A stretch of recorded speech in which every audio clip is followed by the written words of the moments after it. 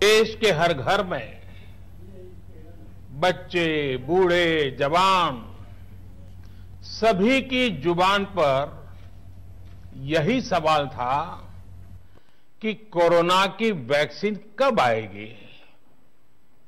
तो अब कोरोना की वैक्सीन आ गई है। बहुत कम समय में आ गई है। अब से कुछ ही मिनट बाद भारत में दुनिया का सबसे बड़ा टीकाकरण अभियान शुरू होने जा रहा है।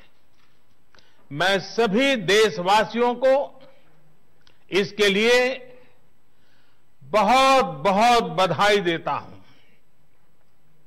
आज वो वैज्ञानिक, वैक्सीन रिसर्च से जुड़े अनेकों लोग विशेष रूप से प्रशंसा के हकदार हैं, जो बीते कई महीनों से कोरोना के खिलाफ वैक्सीन बनाने में जुटे थे, दिन रात जुटे थे। न उन्होंने त्योहार देखा है, न उन्होंने दिन देखा है, न उन्होंने रात देखी है। आमतौर पर एक वैक्सीन बनाने में बरसों लग जाते हैं। लेकिन इतने कम समय में, एक नहीं दो दो मेड इन इंडिया वैक्सीन तैयार हुई है। इतना ही नहीं, कई और वैक्सीन पर भी काम तेज गति से चल रहा है। ये भारत के सामर्थ्य भारत की वैज्ञानिक दक्षता, भारत के टैलेंट का जीता जागता सबूत है। ऐसी ही उपलब्धियों के लिए राष्ट्रकवि रामधारी सिंह दिनकर जी ने कहा था, मानव मानव जब ज़ोर लगाता है पत्थर पानी बन जाता है। भाइयों और बहनों, भारत का टीकाकरण अभियान बहुत ही मानवीय और महत्वपूर्ण सिद्धांतों पर आधारित है, जिसे सबसे ज़्यादा ज़रूरी है, उसे सबसे पहले कोरोना का टीका लगेगा। जिसे कोरोना संक्रमण का रिस्क सबसे ज़्यादा है, उसे पहले टीका लगेगा। जो हमारे डॉक्टर्स हैं, नर्सेस हैं, अस्पताल में सफ़ाई कर्मी हैं, मेडिकल, पैरामेडिकल स्टाफ हैं भाइयों बहनों वो कोरोना की वैक्सीन के सबसे पहले हकदार ही। मानवीय चाहे वो सरकारी अस्पताल में हो महत्वपूर्ण या फिर प्राइवेट में सभी को ये वैक्सीन प्राथमिकता पर लगेगी। इसके बाद उन लोगों को टीका लगाया जाएगा जिन पर ज़रूरी सेवाओं और देश की रक्षा या कानून व्यवस्था की ज़िम्मेदारी है। जैसे हमारे सुरक्षा बल हो गए पुलिसकर्मी हो गए फायर ब्रिगेड के लोग हो गए सफ़ाई कर्मचारी हो गए इन सभी को ये वैक्सीन प्राथमिकता पर लगेगी से पहले मैंने जैसा पहले भी कहा है। चाहे वो सरकारी अस्पताल में हो या फिर प्राइवेट सभी को ये वैक्सीन के वैक्सीनेशन का खर्च भारत सरकार द्वारा उठाया जाएगा। साथियों, इस टीकाकरण अभियान की पुख्ता तैयारियों के लिए राज्य सरकारों के सहयोग से देश के कोने कोने में ट्रायल्स किए गए हैं ड्राई रन्स हुए हैं। विशेष तौर पर बनाए गए कोविन डिजिटल प्लेटफॉर्म में टीकाकरण के लिए रजिस्ट्रेशन से लेकर ट्रैकिंग तक की व्यवस्था है। आपको पहला टीका लगने के बाद दूसरी डोज कब लगेगी, इसकी जानकारी भी आपके फ़ोन पर दी जाएगी। और मैं सभी देशवासियों को ये बात फिर याद दिलाना चाहता हूँ कि कोरोना वैक्सीन की दो डोज लगनी बहुत ज़रूरी है। एक डोज ले लिया और फिर भूल गए, ऐसा गलती मत करना। और जैसा एक्सपर्ट्स कह रहे हैं, पहली और दूसरी डोज के बीच लगभग एक महीने का अंतराल भी रखा जाएगा।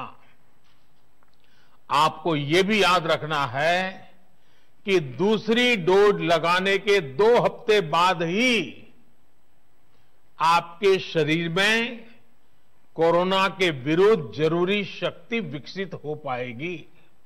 इसलिए टीका लगते ही आप असावधानी बरतने लगे मास्क निकाल कर रख दें, दो गज की दूरी भूल जाएँ।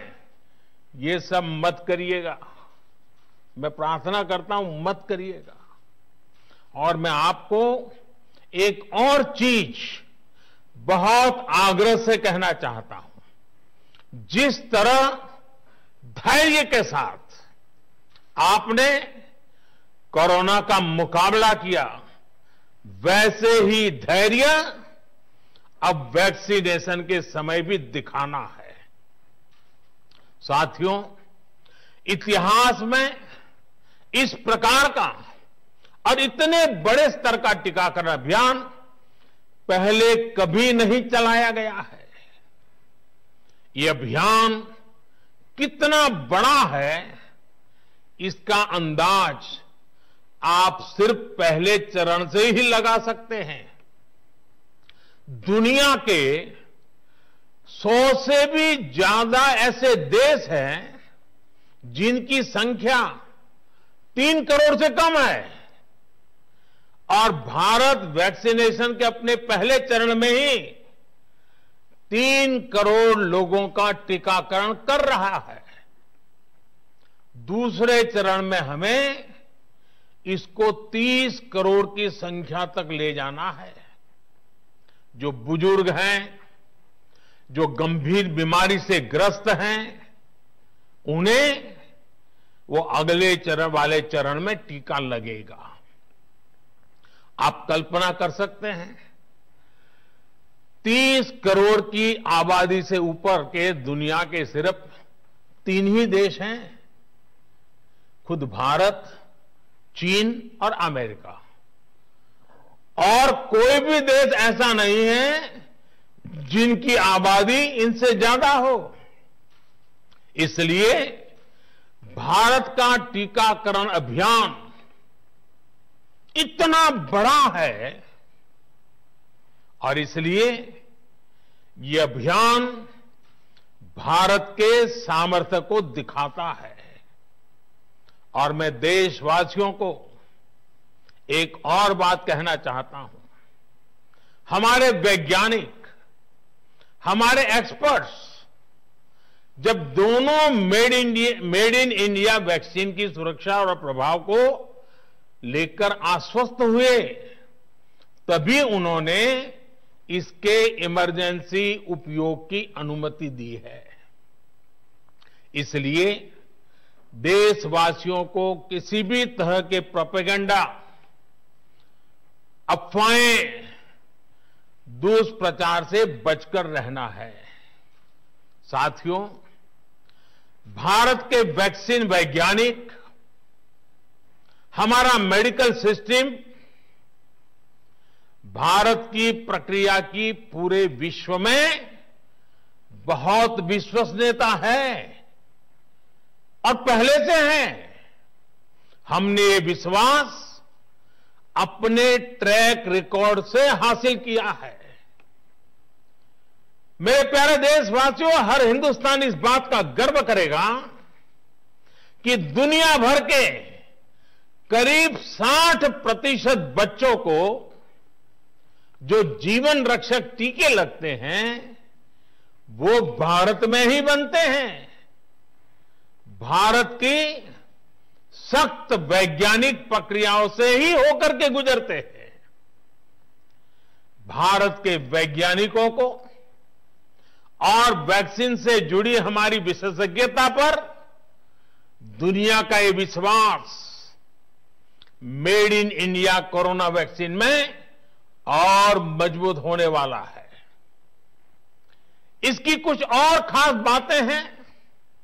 जो आज मैं देशवासियों को ज़रूर बताना चाहता हूँ, ये भारतीय वैक्सीन विदेशी वैक्सीनों की तुलना में बहुत सस्ती है और इनका उपयोग भी उतना ही आसान है। विदेश में तो कुछ वैक्सीन ऐसी हैं जिसकी एक डोज पाँच हज़ार रुपया तक में है और जिसे माइनस सेवेंटी डिग्री तापमान में फ्रीज में रखना होता है। Minus seventy degree. वहीं भारत की वैक्सीन ऐसी तकनीक पर बनाई गई हैं जो भारत में वर्षों से ट्राइड और टेस्टेड है। ये वैक्सीन स्टोरेज से लेकर ट्रांसपोर्टेशन तक भारतीय स्थितियों और परिस्थितियों के अनुकूल है। यही वैक्सीन अब भारत को कोरोना के खिलाफ लड़ाई में निर्णायक जीत दिलाएगी। साथियों, कोरोना से हमारी लड़ाई, आत्मविश्वास और आत्मनिर्भरता की रही है। इस मुश्किल लड़ाई से लड़ने के लिए हम अपने आत्मविश्वास को कमज़ोर नहीं पड़ने देंगे। ये प्रण हर भारतीय में दिखाई दिया है। संकट कितना ही बड़ा क्यों न हो, देशवासियों ने कभी आत्मविश्वास खोया नहीं। जब भारत में कोरोना पहुँचा, तब देश में कोरोना टेस्टिंग की एक ही लैब थी। हमने अपने सामर्थ्य पर विश्वास रखा और आज 2300 से ज़्यादा लैब्स का नेटवर्क हमारे पास है। शुरुआत में हम mask, PPE kit testing kits, ventilators, जैसे ज़रूरी सामान के लिए भी विदेशों पर निर्भर थे। आज इन सभी सामानों के निर्माण में हम आत्मनिर्भर हो गए हैं और इनका निर्यात भी कर रहे हैं। आत्मविश्वास और आत्मनिर्भरता की इसी ताकत को हमें टीकाकरण के इस दौर में भी सशक्त कर रहा है। साथियों, महान तेलुगु कवि श्री गुराजाड़ा अप्पा राव गुराजाड़ा अप्पा राव ने कहा था, सौंत लाभम कौंत मानु को सौंत लाभ कौंत मानुको પૌરુ ગુવાડીકી तोड़ू पाड़बोय देश मंटे मट्टी का दोई देश मंटे मनुष्य लोय। यानी हम दूसरों के काम आए। ये निस्वार्थ भाव हमारे भीतर रहना चाहिए। राष्ट्र सिर्फ़ मिट्टी, पानी, कंकड़, पत्थर से नहीं बनता, बल्कि राष्ट्र का अर्थ होता है हमारे लोग। कोरोना के विरुद्ध लड़ाई को संपूर्ण देश ने इसी भावना के साथ लड़ा है। आज जब हम बीते साल को देखते हैं तो एक व्यक्ति के रूप में एक परिवार के रूप में, एक राष्ट्र के रूप में हमने बहुत कुछ सीखा है, बहुत कुछ देखा है, जाना है, समझा है। आज भारत जब अपना टीकाकरण अभियान शुरू कर रहा है तो मैं उन दिनों को भी याद कर रहा हूँ। कोरोना संकट का वो दौर, जब हर कोई चाहता क्या कि कुछ करें। लेकिन उसको उतने रास्ते नहीं सूझते थे। सामान्य तौर पर बीमारी में पूरा परिवार बीमार व्यक्ति की देखभाल के लिए जुट जाता है। लेकिन इस बीमारी ने तो बीमार को ही अकेला कर दिया। अनेकों जगह पर छोटे छोटे बीमार बच्चों को माँ से दूर रहना पड़ा। माँ परेशान रहती थी। माँ रोती थी। लेकिन चाहकर भी कुछ कर नहीं पाती थी। बच्चे को अपनी गोद में नहीं ले पाती थी। कहीं बुज़ुर्ग पिता अस्पताल में अकेले अपनी बीमारी से संघर्ष करने को मजबूर थे। संतान चाहकर भी उसके पास नहीं जा पाती थी। जो हमें छोड़कर चले गए, उनको परंपरा के मुताबिक वो विदाई भी नहीं मिल सकी, जिसके वो हकदार थे।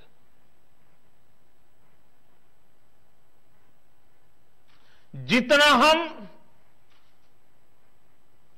उस समय के बारे में सोचते हैं, मन सिहर जाता है, उदास हो जाता है। लेकिन साथियों, संकट के उसी समय में निराशा के उसी वातावरण में कोई आशा का भी संचार कर रहा था। हमें बचाने के लिए अपने प्राणों को संकट में डाल रहा था। हमारे doctor, nurse, paramedical staff, ambulance driver, ASHA worker, सफ़ाई कर्मचारी, पुलिस के साथ ही और दूसरे फ्रंटलाइन वर्कर्स उन्होंने मानवता के प्रति अपने दायित्व को प्राथमिकता दी। इनमें से अधिकांश तब अपने बच्चों, अपने परिवार से दूर रहे। कई कई दिन तक घर नहीं गए।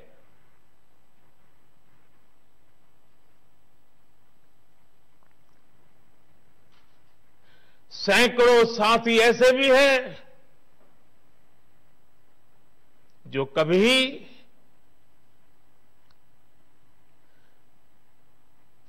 घर वापस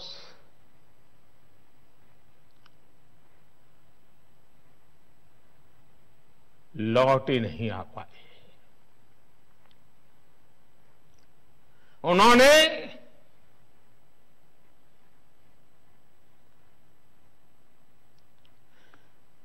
एक एक जीवन को बचाने के लिए अपना जीवन आहुत कर दिया। इसलिए आज कोरोना का पहला टीका स्वास्थ्य सेवा से जुड़े लोगों को लगाकर एक तरह से समाज अपना ऋण चुका रहा है। ये टीका उन सभी साथियों के प्रति कृतज्ञ राष्ट्र की आदरांजलि भी है। भाइयों और बहनों,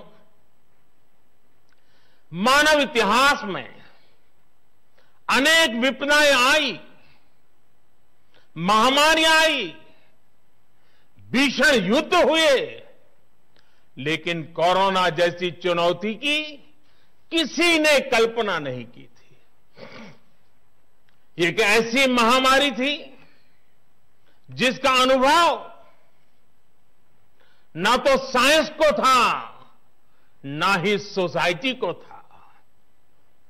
तमाम देशों से जो तस्वीरें आ रही थी, वो खबरें आ रही थी, वो पूरी दुनिया के साथ साथ हर भारतीय को विचलित कर रही थी। ऐसे हालात में दुनिया के बड़े बड़े एक्सपर्ट्स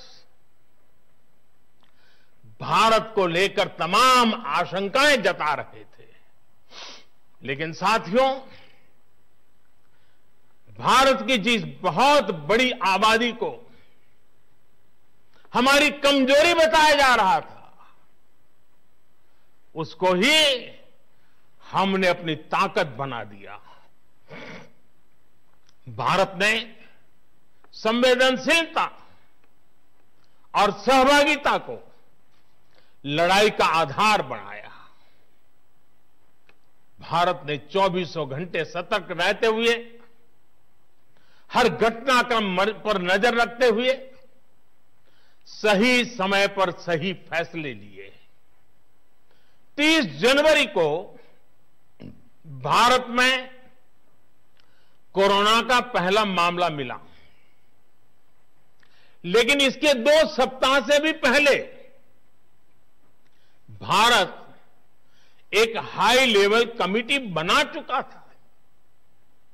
पिछले साल आज का ही दिन था जब हमने बाकायदा सर्वेलांस शुरू कर दिया था। 17 जनवरी 2020 वो तारीख थी जब भारत ने अपनी पहली एडवाइजरी जारी कर दी थी। भारत दुनिया के उन पहले देशों में से था जिसने अपने एयरपोर्ट पर यात्रियों की स्क्रीनिंग शुरू कर दी थी।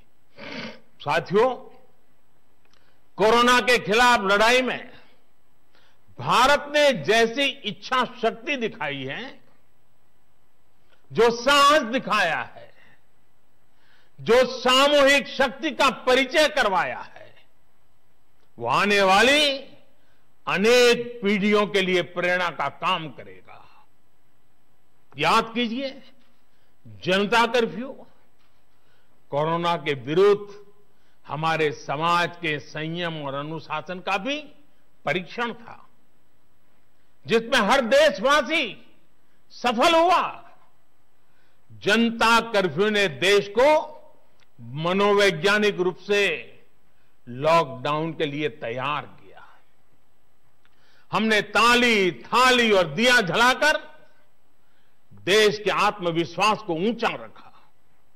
साथियों कोरोना जैसे अनजान दुश्मन जिसके एक्शन रिएक्शन को बड़े बड़े सामर्थ्यवान देश नहीं भाप पा रहे थे, उसके आक्रमण, उसके संक्रमण को रोकने का सबसे प्रभावी तरीका ही यही था कि जो जहाँ है, वो वहीं रहे। इसलिए देश में लॉकडाउन का फैसला भी किया गया। यह निर्णय आसान नहीं था। इतनी बड़ी आबादी को घर के अंदर रखना असंभव है। इसका हमें एहसास था? और यहाँ तो देश में सब कुछ बंद होने जा रहा था। लॉकडाउन होने जा रहा था। इसका लोगों की रोजी रोटी पर क्या प्रभाव पड़ेगा? अर्थव्यवस्था पर क्या प्रभाव पड़ेगा? इसका आकलन भी हमारे सामने था।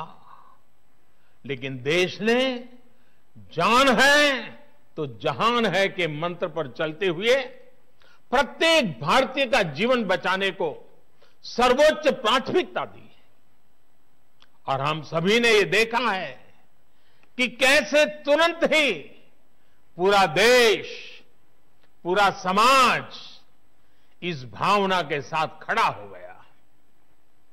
अनेकों बार छोटी छोटी लेकिन महत्वपूर्ण चीज़ों की जानकारी देने के लिए मैंने भी अनेक बार देशवासियों के साथ सीधा संवाद किया। एक तरफ़ जहाँ गरीबों को मुफ़्त भोजन की व्यवस्था की गई तो वहीं दूध, सब्ज़ी, राशन, गैस, दवा ऐसी ज़रूरी चीज़ों की सुचारू आपूर्ति सुनिश्चित की गई। देश में व्यवस्थाएँ ठीक से चले। इसके लिए गृह मंत्रालय ने 24 four by seven control room शुरू किया, जिस पर हज़ारों कॉल्स का जवाब दिया गया, लोगों को समाधान दिया गया। साथियों, कोरोना के विरुद्ध इस लड़ाई में हमने कदम कदम पर दुनिया के सामने उदाहरण प्रस्तुत किया है। ऐसे समय में जब कुछ देशों ने अपने नागरिकों को चीन में बढ़ते कोरोना के बीच छोड़ दिया था, तब भारत चीन में फंसे हर भारतीयों को वापस लेकर आया। और सिर्फ़ भारत के ही नहीं हम कई दूसरे देशों के नागरिकों को भी वहाँ से वापस निकाल करके लाए कोरोना काल में वंदे भारत मिशन के तहत 35 लाख से ज़्यादा भारतीयों को विदेशों से भारत लाया गया। मुझे याद है, एक देश में जब भारतीयों को टेस्ट करने के लिए मशीनें कम पड़ रही थी तो भारत ने पूरी टेस्टिंग लैब यहाँ से वहाँ भेज करके उसको वहाँ सजाया, लगाया, ताकि वहाँ से भारत आ रहे लोगों को टेस्टिंग की दिक्कत ना हो। साथियों, भारत ने इस महामारी से जिस प्रकार से मुकाबला किया, उसका लोहा आज पूरी दुनिया मान रही है। केंद्र और राज्य सरकारें स्थानीय निकाय, हर सरकारी संस्थान, सामाजिक संस्थाएँ कैसे एकजुट होकर बेहतर काम कर सकते हैं, ये उदाहरण भी भारत ने दुनिया के सामने रखा। इसरो, डीआरडीओ, फौज से लेकर किसानों और श्रमिकों तक सभी एक संकल्प के साथ कैसे काम कर सकते हैं, ये भारत ने दिखाया है। दो गज की दूरी और मास्क है ज़रूरी, उस पर फोकस करने वालों में भी भारत अग्रणी देशों में रहा। भाइयों और बहनों, आज इन्हीं सब प्रयासों का परिणाम है कि भारत में कोरोना से होने वाली मृत्यु की दर कम है। और ठीक होने वालों की दर बहुत अधिक है। देश के कई ज़िले ऐसे हैं जहाँ एक भी व्यक्ति को हमें कोरोना की वजह से खोना नहीं पड़ा। इन जिलों में हर व्यक्ति कोरोना से ठीक होने के बाद अपने घर पहुँचा है। बहुत से ज़िले ऐसे भी हैं जहाँ बीते दो सप्ताह से कोरोना संक्रमण का एक भी केस नहीं आया है। जहाँ तक कि लॉकडाउन के से प्रभावित अर्थव्यवस्था की रिकवरी में भी भारत दुनिया में आगे निकल रहा है। भारत उन गिने चुने देशों में है जिसने मुश्किल के बावजूद दुनिया के 150 से ज़्यादा देशों में ज़रूरी दवाएँ और ज़रूरी मेडिकल सहायता पहुंचाई। पैरासीटामोल हो हाइड्रोक्सी क्लोरोक्वीन हो टेस्टिंग से जुड़ा सामान हो, भारत ने दूसरे देश के लोगों को भी बचाने की हर संभव कोशिश की। आज जब हम अपनी वैक्सीन बना ली है तब भी भारत की तरफ़ दुनिया आशा और उम्मीद की नज़रों से देख रही है।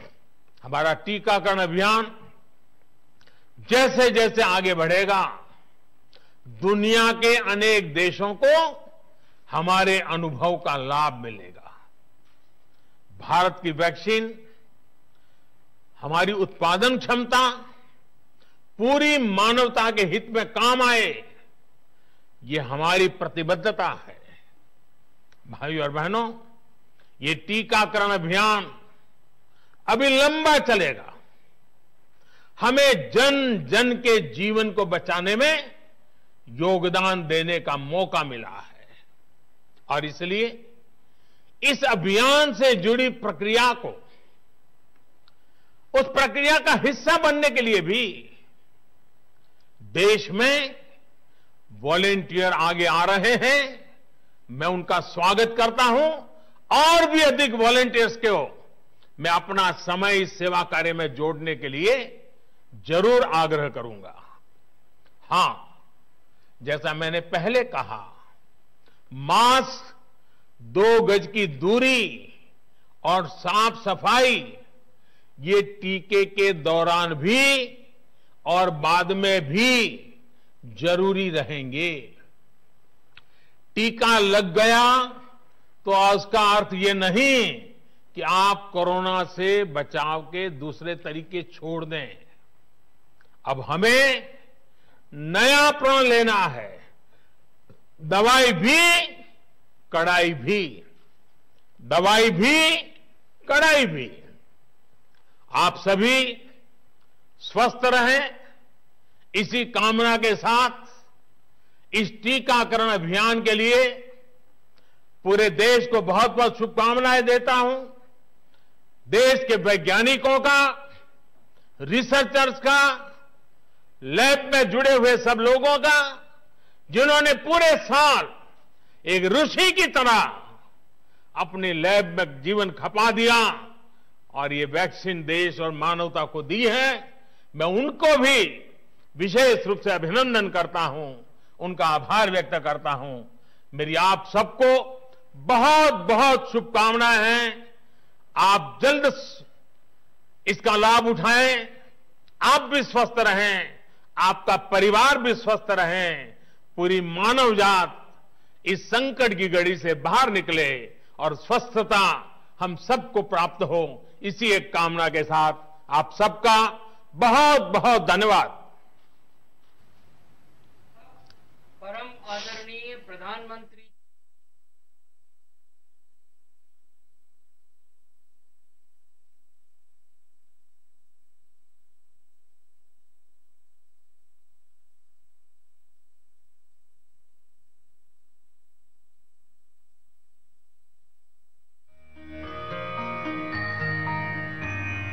सर्वे भवन्तु सुखिनः सर्वे सन्तु। भवन्तु सुखिनः सर्वे सन्तु निरामया